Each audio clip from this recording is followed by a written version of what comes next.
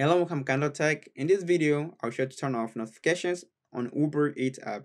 But before I begin, I would like to let you know that this video is brought to you by Amazon Prime. If you shop Amazon, you can save a lot of money by getting Amazon Prime subscription. If you want to learn more about how you can save all this money, click on Amazon Prime subscription trial link. You can find this link in the video description. Now let's get back to the video. Like I said, I'll show you to turn off notifications on Uber Eats app. We'll start opening up your Uber Eats app. As you open up your Uber Eats app, you're gonna arrive on this main screen right here. So once you arrive here, look all on the bottom where you're gonna see account. Make sure you tap on account. Then you're gonna arrive on this main screen right here. So once you arrive here, make sure you tap where it says notifications. So tap on notifications.